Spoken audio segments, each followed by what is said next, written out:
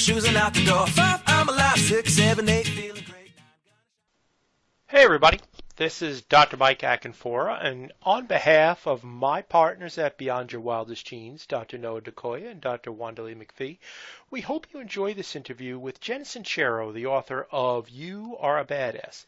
This interview was from our 2015 online summit, the Pain Relief Project.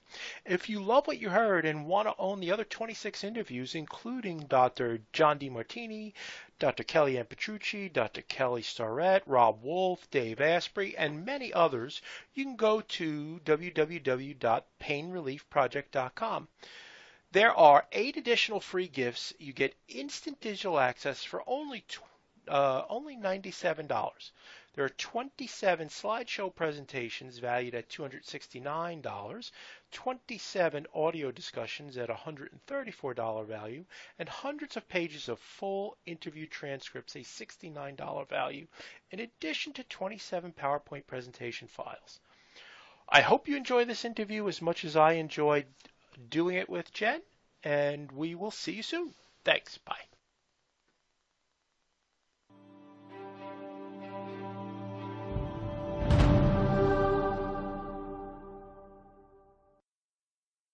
When it comes to your health, what goes into your mouth is just as important as what comes out of it. Jen Sincero, the best-selling author of You Are a Badass, How to Stop Doubting Your Greatness and Start Living an Awesome Life, discusses how our thoughts, beliefs, and words affect our physical well-being. She explains that our normal state is health and how we can unknowingly harm ourselves and why via our learned thoughts, words, and beliefs, and gives practical tips on becoming healthy once again by retraining what goes on in our mind. Jen Sincero is a best-selling author, speaker, and motivational cattle prod who has helped countless people transform their personal and professional lives via her public appearances, newsletters, products, and books, including her latest, You Are a Badass, How to Stop Doubting Your Greatness and Start Living an Awesome Life. She's spoken on stages all over the world and has coached full on superheroes, helping her clients build their dream businesses, become New York Times best-selling authors, navigate million dollar business deals, and find their soulmates and forgive their bitchy mothers who they now realize were doing the best they could. Her other books include the semi autobiographical novel Don't Sleep with Your Drummer and the national bestseller The Straight Girl's Guide to Sleeping with Chicks please visit Jen on the web at www.jensincero.com. That's www.jensincero.com. Today with me on the Pain Relief Project, I have Jen Sincero of You Are Badass. Hey Jen, how are you doing today? I'm great, thanks. How are you doing? I'm doing great. It is wonderful to have you on the show today. Um, we've been looking forward to connecting with you. So could you, before we get into our, the main part of our interview, could you tell us a little bit about your journey and how you came up with the greatest title for a book of all time? My journey was really around money because I had had a successful career as a writer, successful meaning I got published and my books are out in the world, but I wasn't making any money on them. I had a lovely life with lots of friends, and I just, but the money piece, just I could not figure out the money piece. I was, you know, really broke until my late 30s, early 40s, and it wasn't until I decided that I had had enough that I decided to just really look at what my issues were around money. I mean, I saw all these other people making it who, you know, weren't half as fabulous as I was half the time, and and and so I just I just made the decision to do anything that I had to do to learn about making money. So what that did for me was it entered me into the whole realm of how powerful our minds are and our emotions are in creating our realities. So my journey was specifically around making money, but I've since used it in every part of my life to transform whatever it is that is looking a little shoddy and needs a facelift. Awesome in your book, which I love, it is highlighted. I have not only uh, most of my uh, books are uh, I listen to, but with yours, I actually bought the hard copy book, and it is just uh, dog-eared and highlighted, and it, it's just a phenomenal book. And really, the, the, the emotion and the mindset behind money it, it goes towards everything. So money can be one realm that we're looking at, but it's really, you can look at your relationships, you can look at your, your physical well-being, and they all tie in together.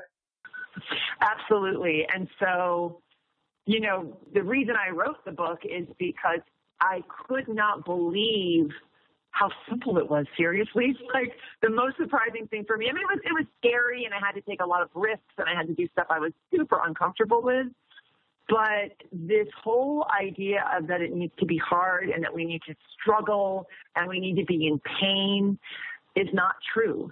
And I was so inspired by the changes that I made in my life, initially financially, and then, you know, with all these other areas, health included, that I, I wrote the book and I, and you know, I wrote it in a tone that I had wished there was, you know, that I had wished was around when I was reading every single self-help book on the planet. So it's a little bit more irreverent, has some curse words in it and stuff like that. But it is, it's all the same stuff.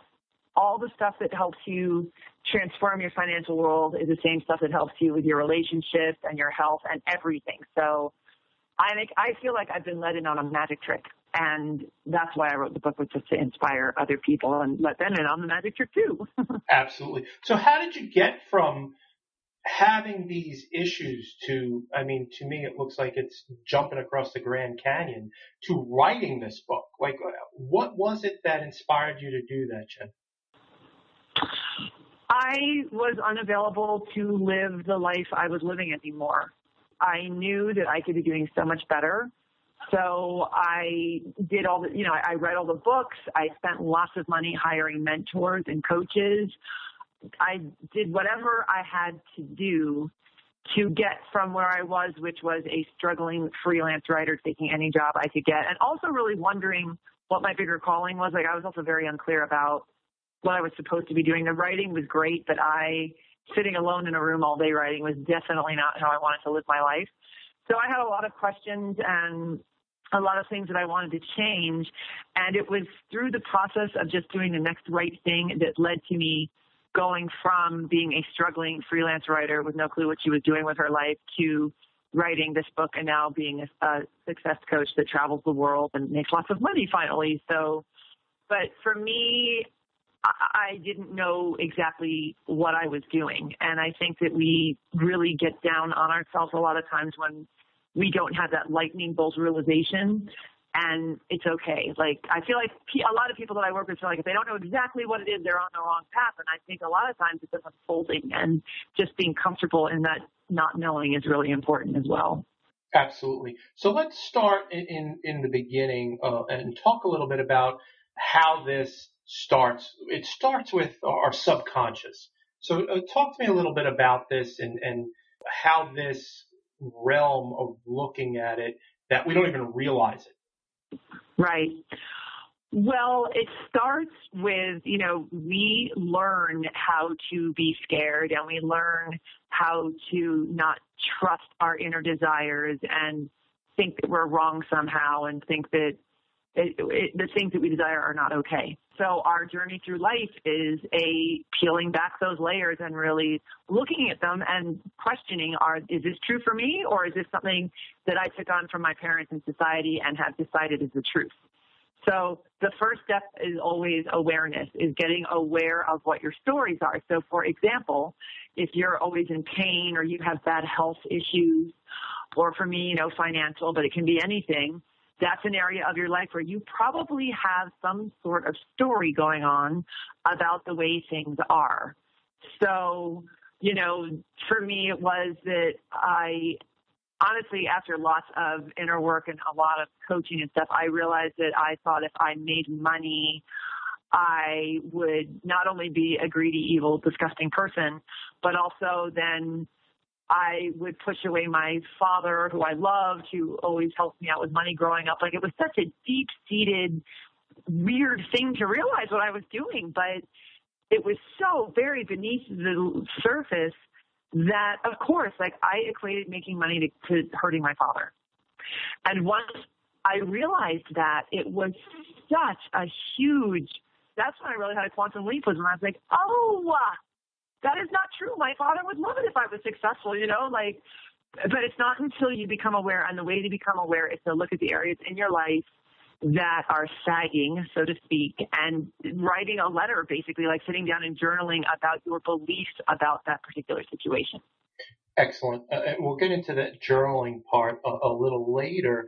Um, but you brought up uh, one of the most brilliant men ever, uh, Nikolai Tesla, talking about tone and vibration and frequency. Talk to our audience a little bit about that because this may be the first time they've ever heard of this. Okay. All right. So we're going to go into the cosmic journey now. So our universe is made up of energy. Everything vibrates at a certain frequency, including our thoughts and our feelings. Everything has a frequency to it. So when you understand this and really understand it, then you can start to understand how your thoughts and your words and your feelings and your beliefs manifest the reality you are currently looking at. Because like frequency attracts like frequency. So this is why they have, you know, there's affirmations in the world and, and this is why we talk about getting clear on the things that literally raise your frequency. So hanging out with people who are inspiring and fun and fearless and doing what they love, like you know how it feels when you're around them. You literally feel lifted by them, right?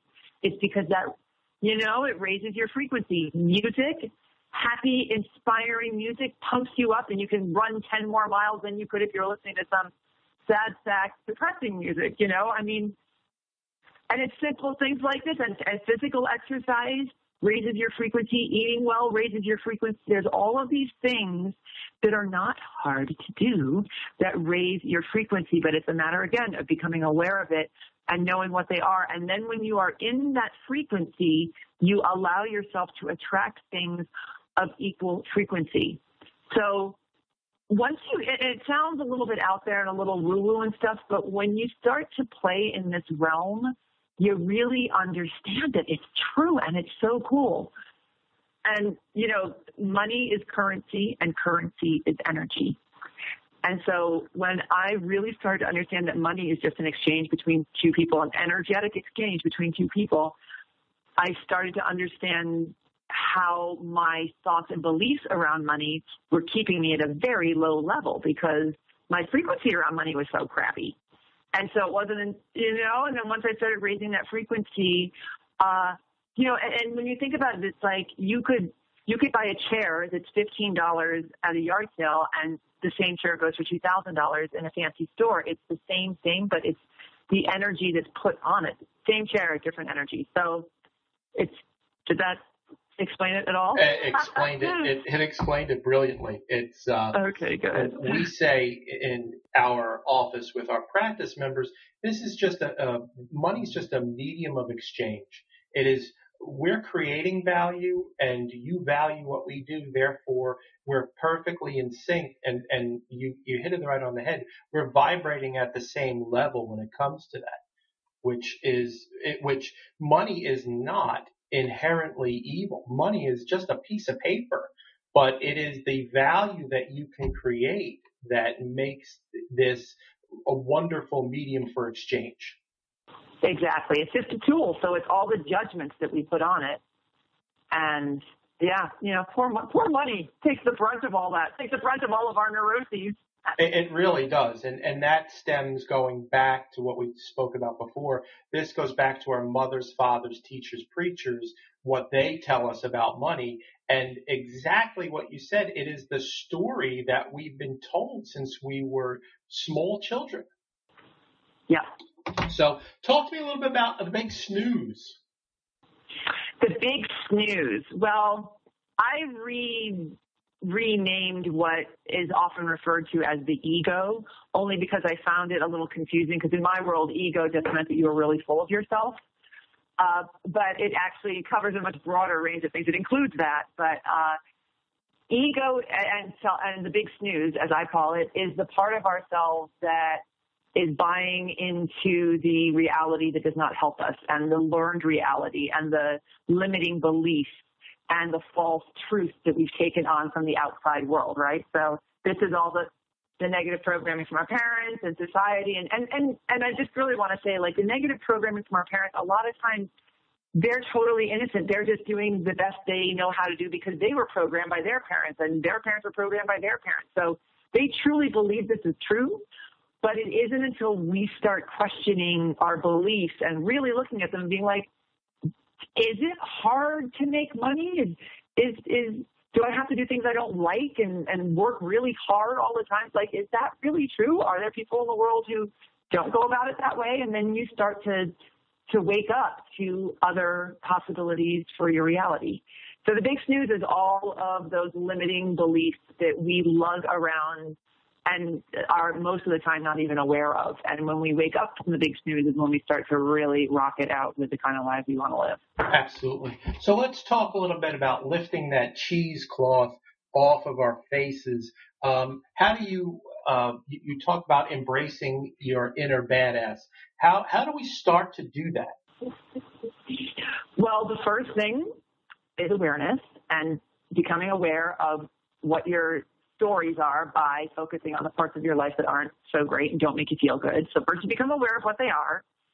Then you get aware of what the specific stories are that you are creating. And this is why the journaling comes in so handy because then you can put actual words to it. So I knew that I had issues around money and that I felt dirty and bad about it, but that was very vague. It wasn't until I realized that, oh my God, it's going to be like a knife in my father's heart if I make money or that I realized that was my belief. So once, so first you get aware, then you find the specific beliefs that you have going on around it and you look at them and then you question them and you, you come up with new ways to look at it that would actually support the kind of life that you truly desire to live.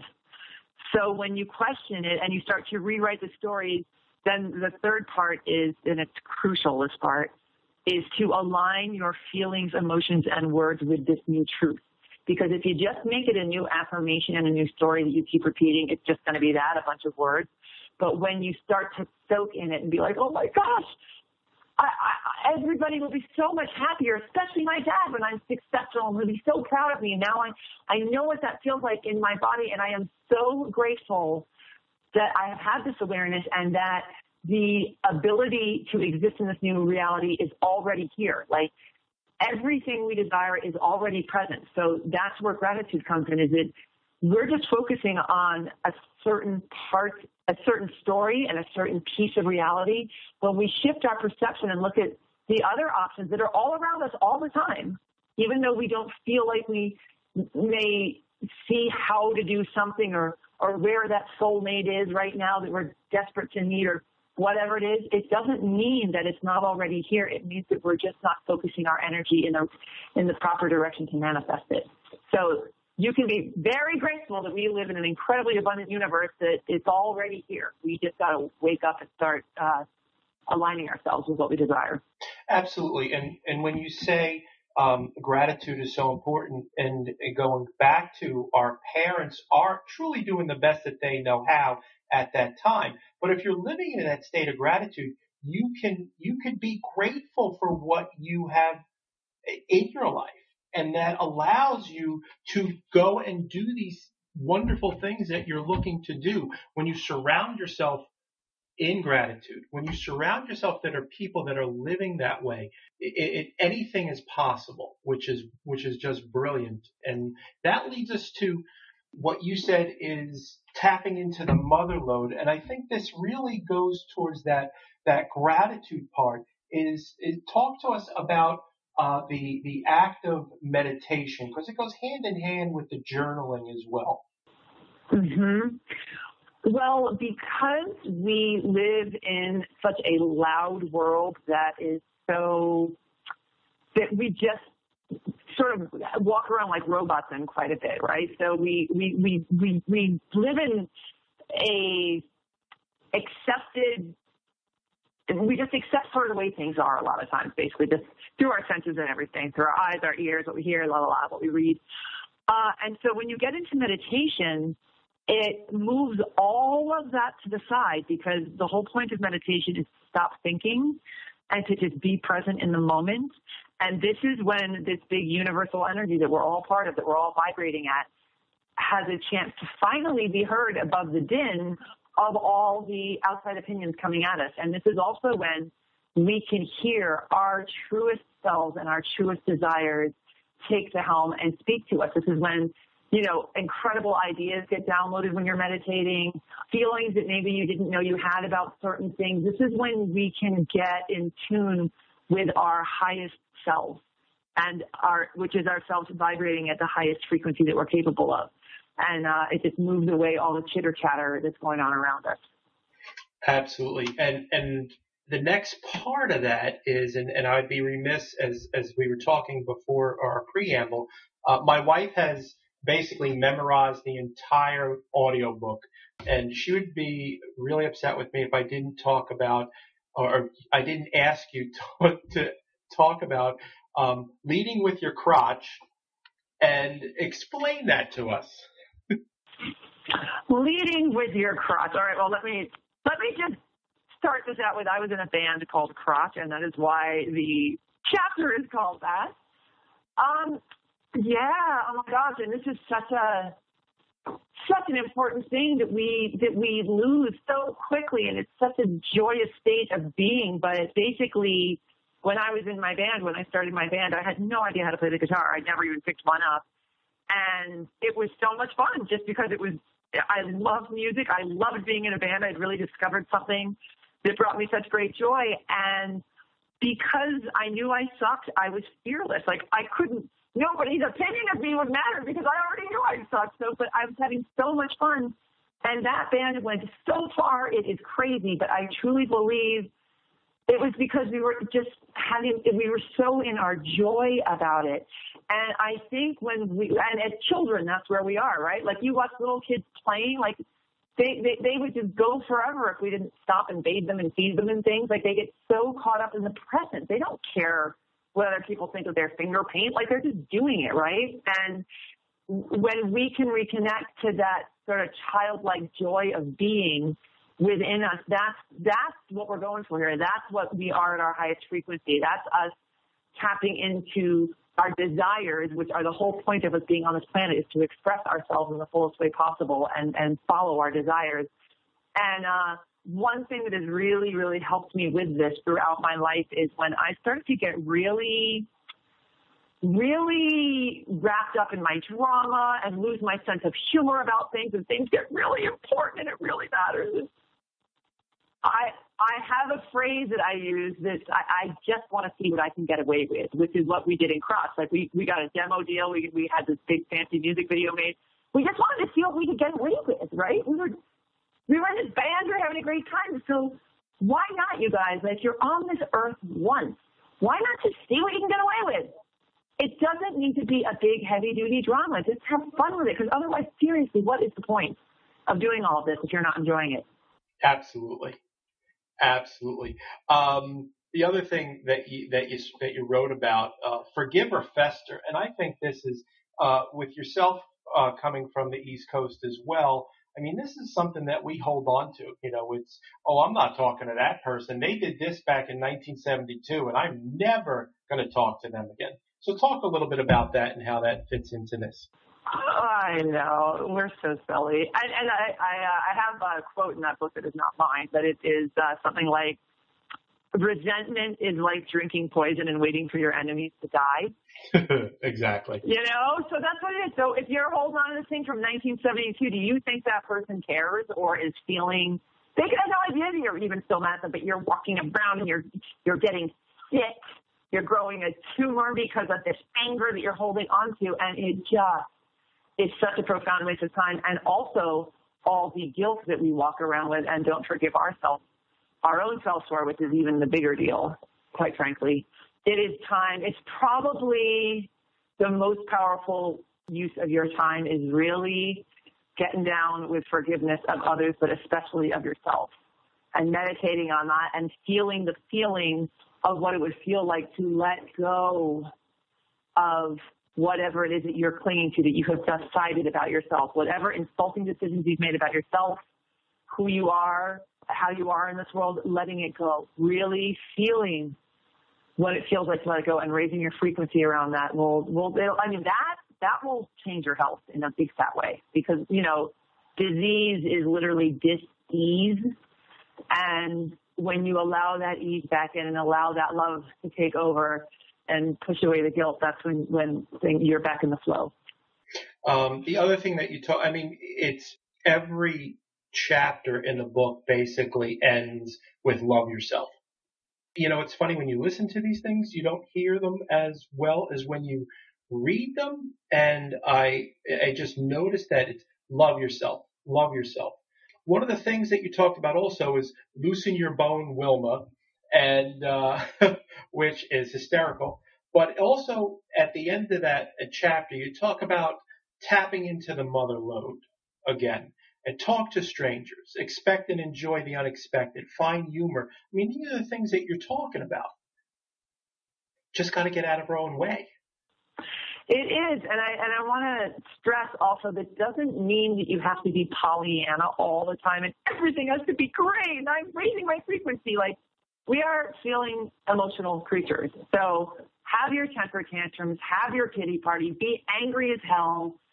Let that live as well, because if you don't let that stuff live either, then you're going to be getting sick also. But the problem is we live in a world, first of all, that sort of appreciates that more than joy and happiness, even though we pretend we don't. I mean, you look at the news, you look at how much we love to commiserate and waking up to understanding that that is such a, a more, I don't know, it's just a more appropriate way to live in our world somehow, I think, that we stay there much longer than is necessary. So I'm all for feeling it. I'm all for getting into that, into that juice, but let's move on, please. We are here for a very limited amount of time, and you have a choice to how long you stay down there and how focused you are on doing the work to get yourself at the frequency you desire to be at. Absolutely. In in part four of the book, you talk about uh, how to get over your BS already, and and the one chapter that really stuck out for me is procrastination, perfection, and a Polish beer garden anytime that you can combine all three of those together, you just know it's going to be great. Would you tell our audience a little bit about that? Because that really speaks to me and, and my wanting everything to be perfect and therefore leading to the procrastination. Oh, you know, it really is such a sneaky one, and it, it really is the crowd pleaser as far as self sabotage goes. Is procrastination, and it's because you know we all have busy lives, you know, time is limited and these other things really are important. So we can be very proud of ourselves for all of the excuses that we throw in our path. And we can argue a very good case for why we need to do those first or whatever. So we feel justified clinging to them. And that's the focus that we're having, right? We're focusing on all that stuff. If we get quiet and we just focus on the desire inside of us and what we are so joyful about creating, that will allow us to blast past whatever these excuses and freakouts are that are blocking us and, and staying in our way. And, and, you know, one of the most common ones is it needs to be perfect. It's not ready yet. I need to go to school for 15 more years. You know, it's like, man, people have done incredible things just getting started. Like, just get started because the other thing is, you learn a lot more through doing than thinking, right? Like you could sit around and think anything through and come up with 15 excellent reasons not to do it or 15 excellent reasons why it's going to fail or that you're going to look like an idiot or whatever. So sitting around in those brains of ours is really not such a good idea. And it's once you start taking action and moving through it that not only do you blast past a lot of these fear, doubts, and worries, but you also open yourselves up to discovering new things that maybe you would never have thought of if you hadn't just started taking some damn action already. So just start. You don't have to know the whole thing. It does not need to be perfect because there is no such thing as perfect, first, first of all. And you may start going in a totally different direction once you get started anyway. So you'll have this perfect, flawless website up. And then as you start moving forward, you'll realize that's not quite exactly in line with your desires and you're going to course correct anyway. So this, this really, really helped me in the early days when I was, was first starting my online business because I, as I said, was broke as a joke. I met somebody who taught me how to put up my online structures, and I'm not going to go deep into the online marketing world, but it was, in my opinion, as somebody who was in a punk band called Crotch, I was like, this is the cheesiest thing I have ever seen in my life. Like I had to be in this little outfit, and I was telling people about I can help you with blah blah blah. Give me your name and email address. And I just remember my coach at the time. I was so digging my heels, and she's like, "Well, would you rather be what would you would you rather be cool and broke or cheesy and rich?" And I was like, "Man."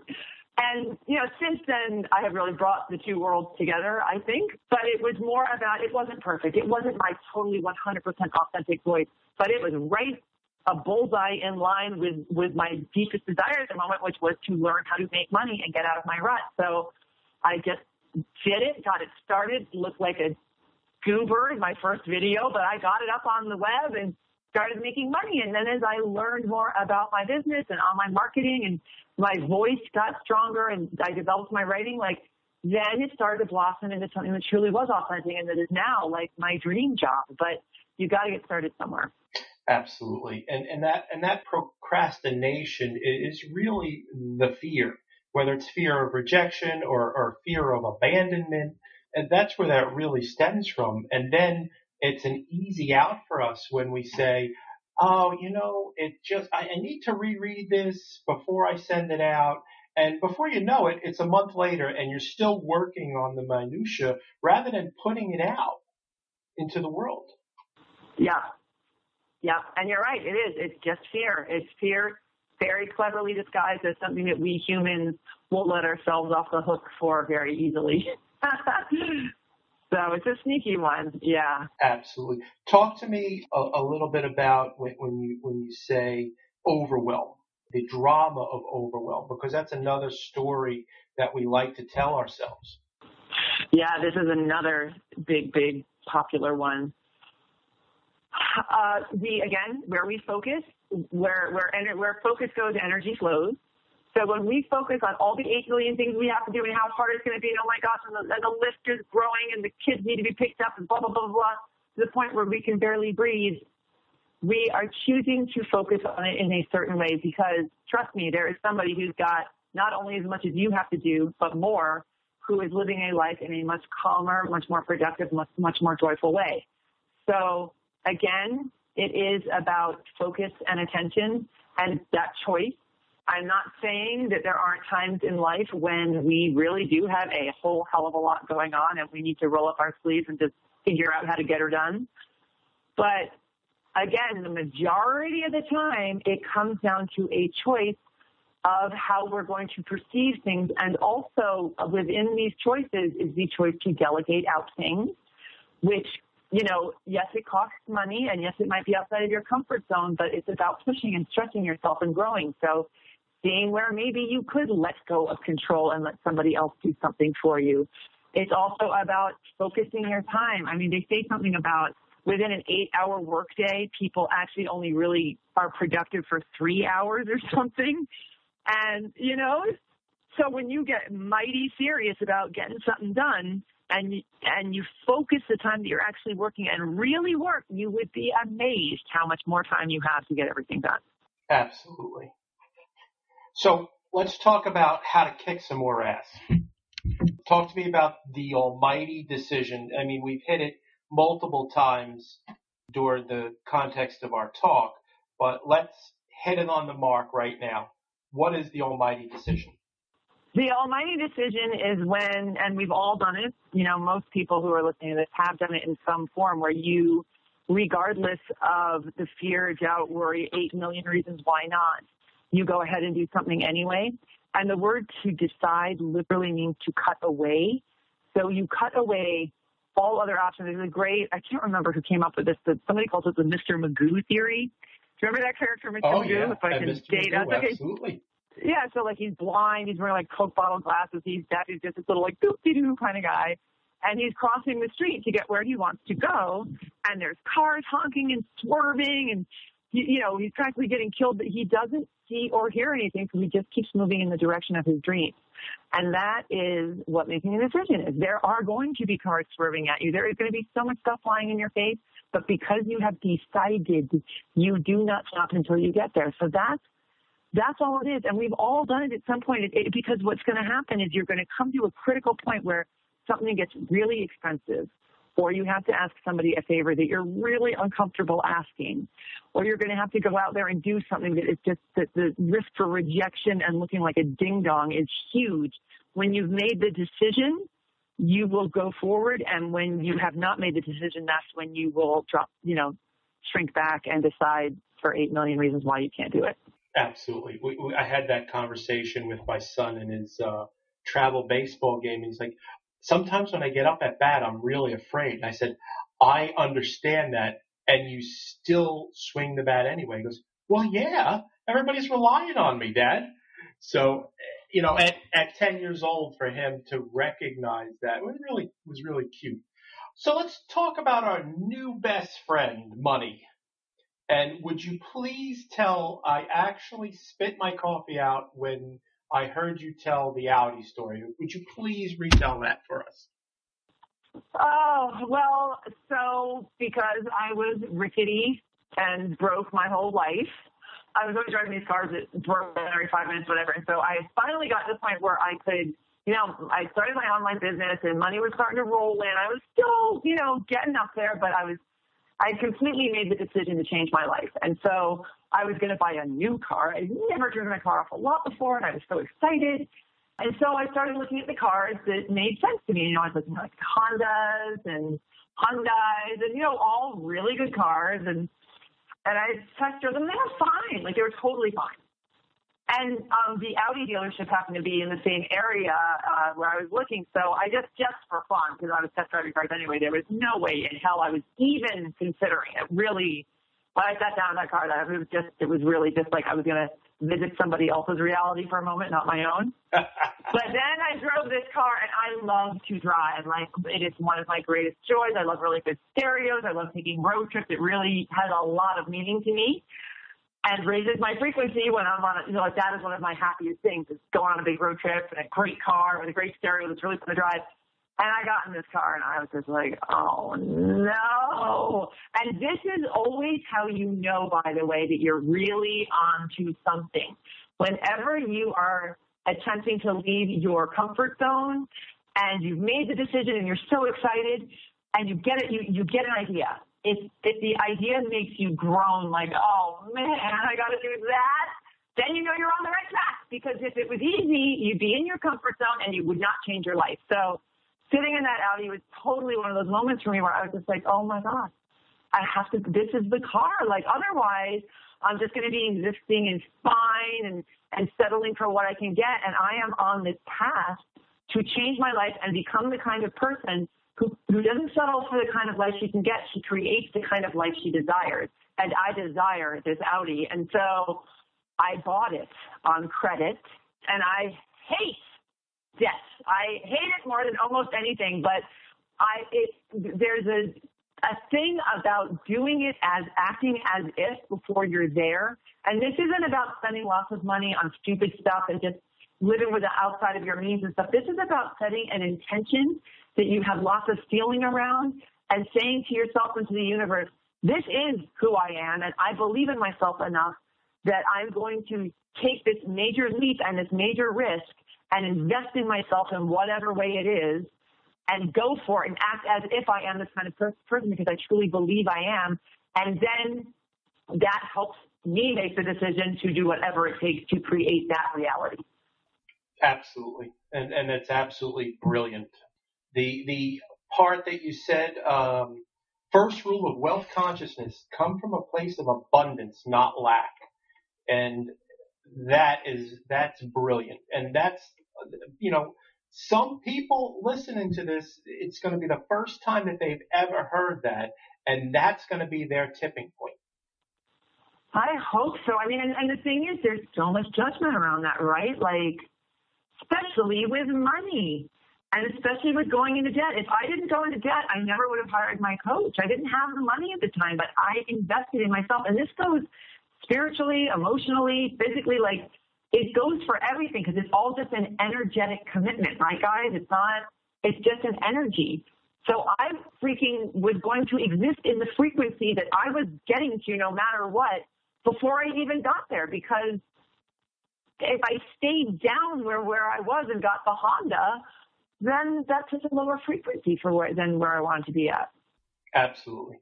So you, you speak about Jen, uh, get clear where you are, get clear where you want to be. Talk to me a little bit about that. These are the rules of um, wealth consciousness. Um, yeah, well, this is the whole thing again about getting clear on what your stories are. So uh, in the book, I recommend that you sit down and write a letter to money, which is really quite hilarious, actually. I mean, you can do it for relationships, you do for your health, for everything. For anything, absolutely. Yeah. And you will be horrified. I mean, literally, like, let's take money, which I truly do believe is the most loaded topic on the planet Earth. You know, like, write a letter to money. I love you. I wish I had more of you. You make me feel dirty. I'm scared of you. I don't trust you. I think you hang out with evil people who do disgusting things to bring you into their lives, but I, I desperately want you around. I wish I knew how to how to have more of you. Like you see the freak show, the push pull that is going on within your own mind. And then you realize that, you know, maybe my energy around this might be a little confused and maybe that is why I am not making money. So first you got to get clear at where you're at, which is what are your feel, thoughts, feelings, beliefs, and words around these areas? And then, you know, setting it up, turning it all, all around. But you got to know where you're starting from first because otherwise you're just sort of putting a band-aid on it and, and since we are ruled by our subconscious beliefs, uh, we need to sort of sweep out the cobwebs if we really want to want to shoot through the to the sky around that. And I think you nail it right on the head when you talk about write write it down. There is magic that happens when we write stuff down. When we journal, there's actually magic in that. It goes from the fr- from the frontal cortex down to our hand and then out to the universe. And that's when the magic happens is when we actually take the time and give it energy. That's when things change. Absolutely. And I, I have to confess, I hate journaling. I was like, I make all my clients do it. My coaches always make me do it. I'm like, oh. But you are correct. And it's one of those things where it's like when, because what happens a lot, if we just sit there and think, thoughts first of all, can sort of be half-assed. They don't come to fruition all the time. And we forget them right away. So when you write it down, the full thought comes out and you are then looking at it like, oh my God, I did not realize that's how I felt. Like it, it, it sinks it in so much deeper than if you're just sitting there thinking about it. And I believe in this so strongly that I do journal, even though it's like pulling teeth for me, but I know how powerful it is and helpful it is. So there you go. It's the spiritual gym, as I like to call it. You have got to go to the spiritual gym. And also, like, once you go to the spiritual gym and you get into really good shape, you don't get to stop going to the spiritual gym. It's like you don't get in shape and then stop going to the gym and then you're like, oh, I'm in shape. You have to keep working out. So with all of this, I'm always reading some kind of wealth consciousness book or some spiritual thing and, and working with mentors and surrounding myself with those kinds of people, you have to stay in shape. So it needs to become a a way of life. And uh, I will say I do not journal regularly, but I do do it when I need to. but but like with the meditation and all that, you got to stay at it, and it's fun. It's a hell of a lot more fun than sitting around and you know in, in mediocrity. Absolutely. Well, Jen, you are truly a badass. It has been fantastic talking to you. Um, where can people find your work? They can go to my website, which is jensincero.com, J-E-N, and Sincero is spelled like the word sincere, but you put an O on the end, so J-E-N-S-I-N-C-E-R-O dot com. You can also type in the title to my book. You can type in You Are a Badass, and it will take you to the same website. And if you sign up there, give me your name and email address, and I'll send you all sorts of tips and stuff like that. All sorts of good stuff. Well, Jen, it's been a pleasure. I was really looking forward to having you on the Pain Relief Project. Uh, it was uh, exciting, and my wife loves your work. I love your work, and I want to thank you again for being on the Pain Relief Project. Have a great day.